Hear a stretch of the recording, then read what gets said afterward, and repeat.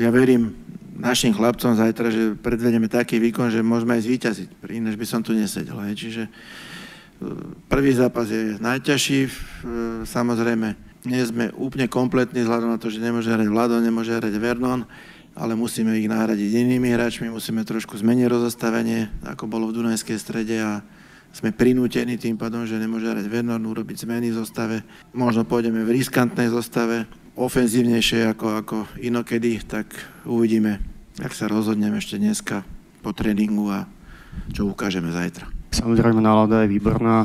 Myslím, že môžem povedať za všetky, že sa na ten zápas tešíme, nemôžeme sa dočkať. A vlastne kvôli týmto zápasom sme trénovali a tvrdo makali. Takže tešíme sa na to. Verím, že odohráme dobrý zápas s dobrým koncom. Ak budeme hrať tak, ako s takým zanetením, ako sme hrali proti, doma proti Olympiakosu, aj keď v menšine, takže to mústvo má svoju kvalitu a keď ukážeme také bojovné ducha, ja verím, že podporený výbornými divákmi, tak máme šancu na úspech.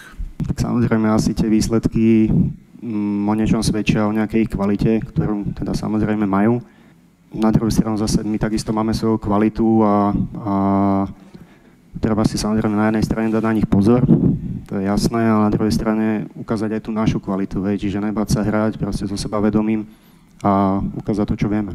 Tu majú niekoľko výborných individuálov, ako je Bill, podrotový hráč, že Španiel, ktorý má famoznú lávačku a vie riešiť finálnu fázu, takže na to si budeme musieť dať pozor krajiny obrancovia hrajú veľmi vysoko, čo sa ťažko bráni, hej, keď sú silní na lobde a využívajú tie priestory krídelné.